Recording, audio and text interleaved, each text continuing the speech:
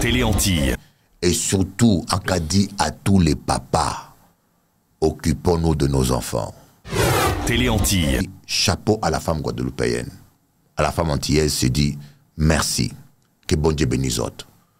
C'est les femmes les plus courageuses, les combattantes. Elles se battent. Si ce n'est pas vous, les îles seraient perdues. Télé Antilles. Et surtout, en cas dit à tous les papas, occupons-nous de nos enfants. Occupons-nous. Même le lion protège ses enfants. Même le chien. Alors protégeons nos enfants. Ne faisons pas des enfants comme des lapins et puis tu ne payes pas la passion alimentaire, on te voit rouler en Mercedes.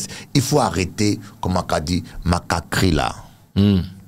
Ça existe toujours, pa- pasteur, pardon, tu le, tu le vois toujours, ça? Oh. Mais, mais c'est tout le temps comme ça. En Guadeloupe? Mais la société, c'est la maman qui fait tout. C'est maman qui nourrit l'enfant. Maman n'a qu'à payer le loyer. Maman n'a qu'à faire ceci. Mais les mamans souffrent. Les mamans souffrent. C'est pour ça que vous allez voir quand on insulte un enfant, on insulte sa mère plutôt.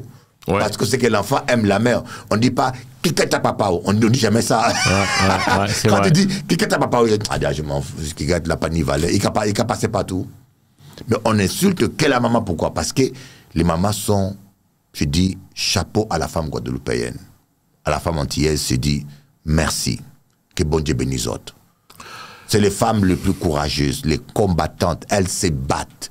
Si ce n'est pas vous, les îles seraient perdues. Télé. Jean-François Saint-Louis. Le Radio Show.